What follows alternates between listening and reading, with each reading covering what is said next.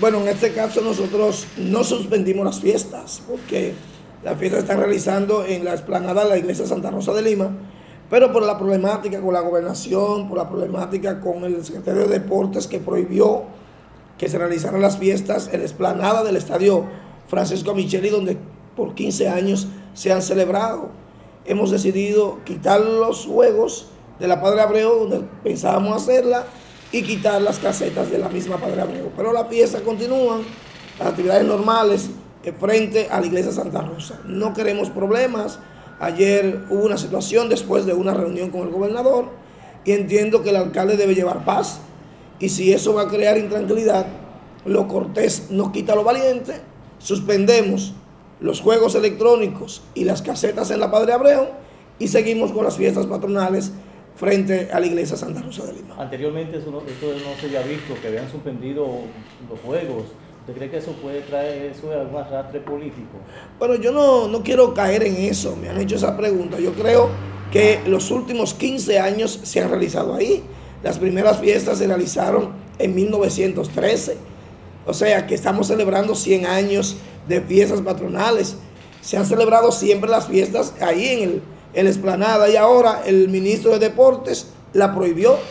Entonces no queremos caer en discusiones. Yo creo que el pueblo se merece más tranquilidad, que es lo que estoy llevando, que se suspendan las, actividades en esa parte de la ciudad.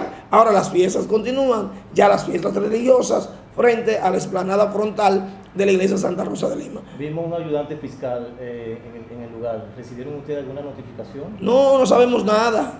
Ellos aparecieron allí, con un contingente policial, quitaron las casetas, a mí no me han llamado, a esta hora a mí no me han dicho nada como alcalde, pero así es la vida, mijo, nosotros entendemos que la vida continúa, después de esta semana la romana continúa, e incluso después de mi paso por el ayuntamiento, la romana tiene que continuar. A mí no me preocupa tanto las fiestas, porque las fiestas continúan en la iglesia. Mi gran preocupación es mantener mi ciudad limpia, que está limpia, haciéndole obra al pueblo y que Dios coloque a cada uno y el pueblo en su justa medida. ¿Algún mensaje final para la población? A la población que se mantenga tranquilo, que las fiestas patronales se hacen una vez al año, que hay otras formas de celebrar. Ahora las actividades artísticas que se iban a realizar en torno a las fiestas, lo vamos a hacer después que terminen para no, que no choque con la iglesia, con las actividades religiosas.